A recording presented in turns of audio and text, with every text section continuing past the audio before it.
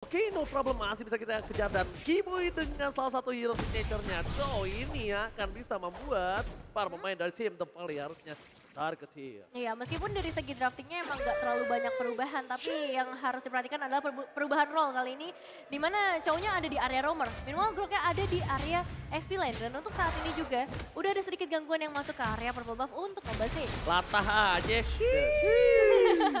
Uh, dan bahkan kita lihat di mana Tapi ada... aku fokusnya ke Purify sih daripada Ya. Sisnya. Karena mau bagaimanapun melihat dua Purify seperti ini apalagi di tubuh dari Hun dan juga Basic ini bakal jadi penting banget agar nantinya Keyboy harus lebih berfokus kepada tiga member yang tersisa.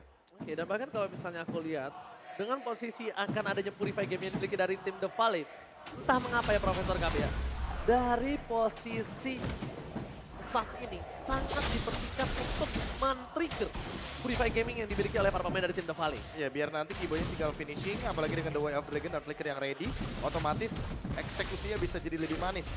Ketika nanti reward manipulation akan menjadi pemicu bagi Purify yang digunakan oleh Basic dan juga Hun. Soalnya kalau misalnya mengandalkan seorang Kiboy untuk membuka terlebih dahulu ini akan cukup berat Nevin. Oh, iya, ini iya. Kiboynya bakal dipermainkan oleh Basic atau Hun sekalipun dengan adanya Lilia kita tahu Black Shoes ya udah Betul. Black Shoes, Purify, Basic yang nggak bisa ditangkap itu cukup membingungkan. Bahkan di depan sana, Oh-oh. Suns akan coba dipasang dengan first blood yang dimiliki oleh para pemain dari tim The Valley. Tapi Kyrie standby on position mencoba untuk membalaskan dendam dan mendapatkan satu poin kembali. Keuntungan di tangan dari seorang Onyx Esports. Kenapa? Karena Kyrie lah yang mendapatkan poin kill. Betul sekali, meskipun harus ditukar dengan satu pemain gak jadi masalah karena kali ini kita akan menyaksikan bergeser ke area turtle. Perebutan bisa aja terjadi mengingat eh, posisi dari seorang Mobazen yang gak terlalu jauh yaitu ada di area orange buffnya tapi Kiboy udah mulai nih mencari target seperti apa yang gak bisa mengeluarkan Purify tapi ini dia mencoba untuk masuk ke bagian dalam dan Kyrie berhasil mendapatkan Lihat gimana caranya Kiboy mengusir Mobazen jangan sampai menggunakan retribution dan membuat seorang Kyrie free retribution. Benar banget, dan ditambah dengan Way of Dragon yang sudah kita tunggu-tunggu itu dia cover yang luar biasa dari sosok Keyboy. Agar tidak ada retribution dari Mobazen walaupun sudah percaya bahwa Kairi menang level. Walaupun sudah percaya dengan retribution dari Kairi tapi dia mau yang lebih secure.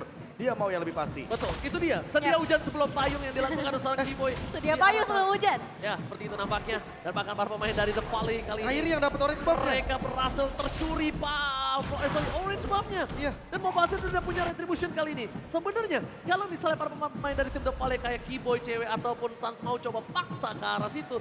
Dan punya dapetin satu buah purple buff itu juga punya, ada loh sekitar ya maybe 50 persenan. Ya, Ada. penekanan terhadap sosok jungler kayak Mobazen kayak gini otomatis akan membuat Mobazen akan under sekali untuk levelnya. Dan ini adalah early yang berbeda. Seperti di game yang pertama tentunya, tapi memang lebih galak aja untuk Onyx-nya di game yang kedua. Iya, memang dengan ngebawanya seorang cowok memaksa ya para pemain dari Onyx untuk melakukan agresif yang lebih tinggi. Tambah lagi masih ada sesosok Grok.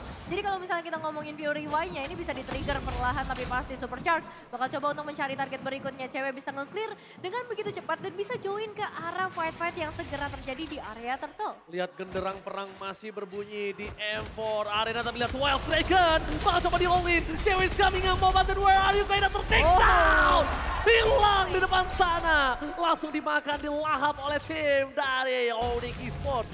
Meskipun begitu mereka masih punya masalah di bottom lane. Mereka masih punya masalah sama seorang Basic. Lihat betapa kerasnya Basic untuk bisa menembus seorang Kiboy. Kiboy memikirkan berkali-kali lihat dia sampai bingung gimana caranya untuk memaksa menumbangkan seorang basic. Mobazen bukan menjadi masalah kali ini. Masalah utamanya adalah karena Superstar selalu hadir dari tubuh dari basicnya. Jadi kalau mau mengincar ke arah gold laner agak sedikit PR tentunya. Dan rotasi, ini yang paling terpenting. Boots sudah meninggalkan planningnya dan dia lebih memilih untuk melakukan rotasi terlebih dahulu. Dia meninggalkan gerobaknya. Ini merupakan Selalu. sebuah pengorbanan yang luar biasa dari sosok EXP laner yang jarang banget kita lihat. Selalu, selalu. Boots itu selalu meninggalkan mau dua gerobak sekalipun dia tinggalin untuk team fight. Dan ini mungkin bisa dicontoh untuk para player-player ranked di luar sana. Dan bahkan lihat Watson meninggalkan satu point kill untuk fight chicken. Retribution! Kali ini diamankan oleh seorang Mobazen tapi nampaknya tidak. Malah seorang basic club yang melakukan last hit terhadap turtle yang dimiliki dari tim The Valley. Ya, ada sedikit penghalangan yang dilakukan oleh tim The Valley kali ini membuat Kyrie nggak bisa melakukan retribution dengan maksimal. Tapi pergeseran dari The Valley menuju ke area outer mid ini yang bakal menjadi bahaya. Perlawanan akan segera dilakukan pastinya dengan adanya seorang Sal tapi basic. Udah punya damage yang benar-benar sakit banget dan attack speed yang harus diwaspadai juga. Pertukaran akan dilakukan oleh seorang cewek di bagian bottom lane. Ini bakal jadi keuntungan sih sebenarnya ketika satu outer turret bisa ditumbangkan. Oke, terlalu sakit cewek. Respect harus diberikan terhadap seorang cewek atau Spy Chicken dan bahkan dari The Valley. Ini berbeda, terbalik langsung ada instant pick up dari bottom lane. Calvin Winata berhasil menemukan Fight Chicken menggoreng-gorengnya di arah bottom lane sampai kosong. Dan para pemain dari tim The mencoba untuk memaksakan mendapatkan seorang carry dari top lane. Karena Basic adalah salah satu orang yang bisa melumat seorang carry. Ya ditambah dengan itemnya untuk sekarang lagi dan lagi ya Golden Staff akan menjadi pilihan dari kedua pemain marksman kita Basic dan juga CW dan buat sekarang untuk sedikit saja melihat Mobile Zen kayaknya agak sedikit berat untuk dia berjalan efek slownya terlalu banyak ada sekarang Boots ada juga dari Kairi yang memiliki orange buff yang lebih banyak dan ditambah dengan Suns dan juga Kibo yang selalu memberikan efek stopper di depan. Kairi tidak bisa untuk berjalan sendirian, jadi dia harus lebih berhati-hati untuk sekarang. Oh. Oke mencoba dijemput oleh para pemain dari tim Onyx Sport berada di fight di dalam Wow. satu buah kandang Sam dan di kandang landak mereka diporak-porandakan basic hilang kesan pick up yang dilakukan dan bahkan tiga player double kill by Infinix diamankan oleh seorang Calvin Winata Damage yang udah gak bisa ditambung lagi oleh para pemain dari The Valley. Dan seperti biasa tim fight yang begitu manis diberikan oleh tim Onyx. Dan Kiboy dari tadi selalu targetingnya bagus banget ya. Dia gak bakal targeting ke arah hero-hero yang ngebawa Purify di sana. Hanya dalam kondisi tertentu aja. Malahan ke arah Fight Chicken dan juga Mobile Slate. Dua hero penting yang justru malah menjadi korban sedari tadi Turtle Camp. Bayu West Gold udah mulai muncul juga kali ini. Dan pastinya setup langsung diberikan oleh Onyx Esports. Dan sadar nggak sadar ya, itu damage dari Boots udah bener-bener tinggi banget. Dia modal heptasis loh. Belum jadi Dark of Despair gitu. Lini belakangnya bakal digerus habis dengan batu yang luar biasa damage-nya ketika charge-nya maksimal. penyok langsung iya kan dihajar pakai power of nature langsung wow langsung hilang Iya, basicnya makanya dia. digila sebegitu aja. Belum wall charge loh ya, bayangin kalau misalkan wall charge-nya menuju ke arah belakang. Dan buat sekarang, basic sendiri belum selesai untuk cooldown dari Purify-nya sehingga ini akan menimbulkan efek yang cukup mengejutkan ketika basic nanti akan tertangkap untuk kedua kalinya. Wow, melihat permainan dari tim The Valley yang kali ini mereka ditutup dari rotasinya. Aku nggak bilang hanya dari goal difference, tapi dari rotasinya. Kenapa? Lihat, bayangkan, biasanya Super Shark ini dia yang memotong rotasi on e-sport sampai di game yang Iya. pertama tadi. Ini beda banget. Ini malah bebas banget. Mereka lebih mengerikan melihat Kibo di depan sana. Kenapa? Oke, kalau misalnya Super Shark dia punya crowd control. Dia bisa melakukan Siren Race, tapi Kibo bisa melakukan pick off langsung. Dan ini akan menjadi berbahaya untuk tim The Valley. Kalau mereka salah buka-buka dan tidak ada follow up damage sama sekali. Lihat betapa sakitnya seorang Moskov memberikan damage ke arah belakang. Dan terusnya tetap didapatkan oleh seorang Mobazen melihat Sans di depan sana dengan bukan Purify lagi. Sans memi- berpikiran, kayaknya untuk bermain aman itu bukan tipe gue deh. Oh, Flicker. Flicker. Flicker. Bisa ofensif, Yep. bisa defensif. Atau bahkan Depends. membuka bagaimana untuk celahnya basic ketika dia sudah selesai dengan dash-nya. Karena mau bagaimanapun Phantom Step juga punya cooldown dan untuk sekarang Wind of Nature mungkin akan jadi item selanjutnya dari basic. Cewek sudah selesai juga dengan menggunakan Demon Hunter Sword. Jadi udah cukup banget nih untuk physical damage deal-nya. Tinggal gimana maksimalin dari Suns dengan item yang sudah dia punya juga, Glowing One dan juga Ice Queen One, agar nanti bisa menangkap Karahun salah satunya dengan satu Black Shoes. Dipaksa Black Shoes untuk seorang Hun. Informasi telah diberikan. Walaupun belum Purify digunakan. Dan bahkan lihat kali ini mereka masih coba untuk memaksa, memaksa seorang Hun akan coba diselesaikan. Dan Kiboy melakukan distraksi. Kenapa? Karena dia masih menunggu boost di area bottom lane. Iya, dia terlalu- tidak mau team fight. terlalu jauh nampaknya untuk bisa menunggu boost kali ini Lord Camp Battle kembali lagi terlihat kali ini dan kita lihat juga ya bagaimana efek slow dengan adanya Ice Queen One di tangan seorang Hun ini yang bakal menjadi target makanya nggak heran juga untuk seorang cewek bakal targeting ke arah Hun ya terlebih dahulu. Bouncing ball dari seorang Super Shark mencoba untuk mencari keberadaan dari seorang Keyboy. Tapi Keyboy masih bisa lari dengan the way of triggernya menuju ke arah seorang Super Shark damage yang begitu besar terasa kali ini. Tapi lihat bagaimana Magic Shockwave dan juga Basic mencoba untuk merupakan beberapa pemain di seorang Keyboy. Still survive. Tapi Hun dalam ancaman besar karena Kairi juga dalam ancaman yang sama sama kali ini. Satu barrier memaksa Basic harus memutar terlebih dahulu. Tapi Hun yang harus kali ini Double kill from Suns. kali ini membuat para pemain dari tim Davale harus mundur dan Fight Chicken bahkan kelimpungan. Bingung tidak bisa mendapatkan siapa pun. Dia bahkan menggunakan sprint untuk membantu kawan-kawanannya. Tapi itu tidak cukup. Balik lagi Profesor udah bilang kalau misalnya Boots memiliki damage yang besar. Kairi harus bisa menyelesaikan tugasnya untuk mendapatkan satu buah ini karena sang kemungkinan besar akan menjadi korban dari keganasan seorang Fight Chicken. Dan betul sekali, Sans menjadi korban keganasan. Dua akan dikeluarkan bersama dengan satu buah sprint. Instant pick up from Instant Empat pemain ya, empat pemain dari Oni langsung memberikan pembalasannya. Nggak apa-apa Sansia tumbang, tapi kita balesin dendamnya langsung ke, dan secara instan pastinya. Untuk The Volley, kali ini mereka harus mencari cara lain pastinya. Team fight demi team fight harus mereka menangkan dan mengandalkan Super Shark mungkin karena berbeda banget dengan game yang pertama. Super Shark kali ini nggak bisa gerak sama sekali, nggak bisa kasih inisiasi. Ditambah dengan Super Shark yang selalu ketahuan ketika memang ada Keyboy di sampingnya. Jadi The Way of Dragon benar-benar dia maksimalkan. Apalagi dengan satu sosok hero, Chow. Yang ini udah hero power banget, udah tinggal memicu bagaimana formasi dari Shark agar nantinya ketahuan nih, ayo Sharknya mau ke mana. Dia bakal dibadanin terus. Mau pakai Tyrant Revenge, dia punya shoot bomb.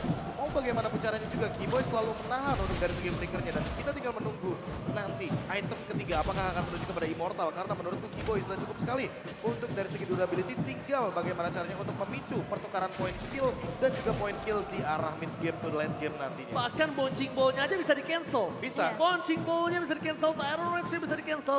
Yang benar-benar menjadi problem kali ini adalah gimana caranya menghentikan dominasi dari Keyboy. Karena Keyboy ini harus dibuka terus visionnya. Sedangkan kalau Keyboy dibuka vision atau di all in, para pemain dari tim Onyx Sport lainnya mereka juga nggak kenal takut.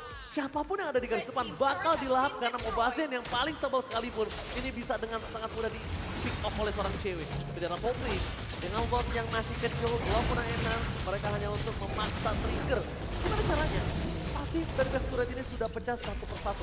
Biar di fight berikutnya mereka bisa mendorong jalin secara bersama dan mereka kembali. Oke, dapatin Keyboy oleh internet seorang Keyboy, sebuah keputusan yang cukup salah. Basic masuk ke dalam perang, ada wajar. Lihat dari seorang. Wah. Sempat menemukan seorang Basic udah hilang terlebih dahulu karena tidak adanya follow up damage. Tidak ada follow up damage. Keyboy memang selamat, tapi mereka menukarkan dengan Super Shark. Iya, tapi itu damage dari seorang boostnya besar banget sih ya untuk menghadapi basic yang notabene-nya sebagai seorang gold laner. Di menit-menit seperti ini basic udah punya damage yang gak kalah saing juga. Mau basin, bakal jadi target pertama kaki boy melemparkan langsung dengan the way of dragonnya. Langsung di backup dengan damage yang luar biasa dari Kylie. Mendapatkan satu eliminasi penting. Wave minion akan segera memasuki ke area top lane. Memang ada wave yang keluar juga dari base tim The Volley. Tapi ini membuat Onyx tetap mendapatkan ke area base turretnya. Dan basic dalam ancaman masih ada turret range dari seorang Jack. Cewek harus hilang dan akan ditarik mundur terlebih dahulu. Nggak mau ambil resiko yang terlalu banyak dan disiplin adalah kunci untuk Onyx. Wah, Super cover from Super Shark berhasil menyelamatkan basic di arah top lane yang membuat tim The Valley bisa membalikan keadaan Profesor Kevin. Iya itu flicker yang benar-benar on point banget, tepat banget dengan Tyrant Revenge ditambah untuk Kairi. Dia nggak bakal disuruh follow up damage yang begitu banyak dari teman-teman The Valley untuk mengcover sosok cewek. Karena mau bagaimanapun, ini basic tuh damage-nya udah benar-benar tidak bisa dibendung. Dan untuk sekarang Mobile Zen baru hidup, yang artinya akan menandakan bahwa mereka akan mencoba untuk mengambil ke arah lore. Tapi ingat, Mobile Zen under satu level daripada Kairi. Kairinya level 15 ini kayaknya lore ini bakal diambil sama Kairi. Jangan lupakan juga Keyboy memiliki satu buah The Way of Dragon. Kali ini lihat pun dipaksa untuk menggunakan satu buah Black Gold. Real World Manipulation. Memasin. Langsung ada satu buah Detona dan ternyata Retribution is on point. Kairi di Sky King berhasil gagal dan berhasil dicolong Lordnya oleh para pemain dari tim The Valley Waters dikeluarkan mendapatkan satu buah main Super Shot. Memasin akan menjadi poin yang kedua di tangan dari Onyx Esports. Double kill from Onyx Esports by Infinix. Ya, dua pemain harus hilang dengan adanya satu barrier yang dipaksa supaya nggak bisa ada perjalanan yang dilakukan oleh tim The Valley untuk kembali ke area base-nya. Masih dengan tiga pemain di depan bahkan empat pemain, mereka bakal coba untuk nge-press terus supaya dapetin base turret-nya. Dan ini bakal jadi kesempatan besar lagi-lagi untuk tim Oni. Tapi tetap, respect. Karena tim The yang udah berhasil ngedapetin ke arah Lord-nya. Ini harus di take down terlebih dahulu. Dan kita akan lihat usaha seperti apa yang dilakukan oleh The dengan momentum yang harusnya udah mulai terlihat dari Super Shark. Dan bahkan tadi kita lihat Mobazin sempat mengelap setidaknya keringet dingin kali ini nampaknya untuk bisa menanggulangi gameplay. Karena ini Mobazin salah satu game terbanyak dia untuk ditumbangkan dengan 053 yang kita tahu. The Yeah. Volley salah satu tim yang memiliki KDA tertinggi. Ya. Bahkan kalau kita ngomongin soal KDA ya, yang paling terpenting adalah kalau misalkan teman-teman melihat bagaimana durability dari Basic dan juga Hun yang selalu berada dalam posisi yang sangat amat nyaman. Makanya mungkin poin KDA mereka sangat bisa dibilang cenderung nomor satu untuk sekarang. Tapi buat Onyx sendiri, bagaimana cara mereka untuk melakukan eksekusi ini perlu direset terlebih dahulu. Boots, kalau misalkan dia melakukan wild charge, apakah perlu dia membuang untuk flickernya? Ketimbang dia menggunakan wild charge-nya saja untuk menuju kepada basic. Karena mau bagaimanapun ketika damage-nya ditukarkan oleh basic dan dia tidak memiliki flicker, otomatis Boots hanya akan berada di lini depan dan tumbang karena burst yang begitu tinggi daripada basic. Ini tidak bisa dihindarkan dari satu sosok batu yang begitu luar biasa. Mungkin aku bisa menggarisbawahi terms and condition yang dimiliki dari Profesor KB yang bisa digunakan wall charge tanpa flicker. Oke, tan- oke wi- dengan flickernya. Tapi kasusnya satu, apakah Suns dapat menggapai seorang basic atau Iya, tidak? atau jangan-jangan cewek yang bakal Itu. follow up. Ya. Karena kalau cewek mungkin agak terlalu cukup jauh. Kita anggap Suns dengan Machine di ujungnya sekalipun. Satu kali tetes akan membuat basic ya berantakan dengan power of nature yang dimiliki seorang bot. Mungkin kasusnya itu. Oke, watch us with flicker asal Suns memastikan kalau Real World Manipulation-nya sampai ke Iya. ujung sana. Masalah utamanya ketika Suns yang nanti ternyata real world manipulation-nya sampai, apakah damage-nya cukup? Karena Oh, oh. basic mau bagaimanapun dia udah punya antena shield dan boots. Coba menyelamatkan dirinya kali ini. Udah ada backupan juga yang datang. Tapi sayang sekali Basic masih bisa memberikan damage yang begitu besar. Real World Manipulation dan Kyrie ketika datang bisa menjadi satu eksekutor yang begitu baik. Meskipun harus ditukarkan lagi oleh seorang cewek. Dan bahkan Keyboy di depan sana mencoba untuk bertahan dari seorang Fight Chicken. Tidak ada basic, tidak ada damage. Tepali harus mundur. Kasus yang baru saja kita ucapkan, baru saja ya. dibahas dan langsung terjadi. Karena basic, dia menggunakan Purify, kita balik lagi. Dua Dragon, ini juga langsung bisa menyelesaikan dan basic gak bisa ke mana-mana. Nanti iya. mungkin akan jadi masalah kalau basic akan mengorbankan dua item damage-nya untuk Athena dan juga Immortal. Itu satu, itu satu. Yang kedua, permasalahan utamanya berarti kalau misalkan boots yang akan jadi umpan seperti tadi, Suns harus mengorbankan flickernya. Apakah ini cukup worthy untuk pertukarannya? Karena satu tuker dua dan basic akan muncul sesaat lagi bersama dengan cewek. Jadi tim bakal direset 5 lawan 5 hanya saja untuk Taren. Ini ada celah loh sebenarnya untuk Onyx melakukan split push. Apakah Onyx ingin memaksimalkan potensi split push tersebut? Apalagi mereka punya Moskov di lini mereka. Dan sangat cepat Moskov untuk melakukan clear minion, jangan lupakan itu. Mungkin dengan adanya problematika basic di dua game terakhir yang sudah aku lihat seperti ini, ada baiknya dibandingkan repotan memikirkan iya. Kari mending ban aja. Pribadi aku. Atau atau ber- tidak bermain dengan front to back tapi langsung melakukan backstep ke arah belakang. Ya, ini sebenarnya juga udah bisa memainkan arah backstep. Bahkan frontlinernya mereka kasih seorang cewek untuk dilumat semua. Yang setara damage-nya dengan seorang basic. Tapi lihat Fight Chicken fokus ke arah Suns. Udah tidak ada flicker lagi. Suns bakal coba ditunggangnya oleh seorang Fight Chicken tanpa adanya following up. Tapi Fight Chicken kembali-kembali menuju ke arah seorang Keyboy. Mencoba untuk menyelamatkan diri. Oh. Mobazen berhasil mendapatkan retribution karena seorang Kairi sedang dilap. Tapi Mobazen, where are you going?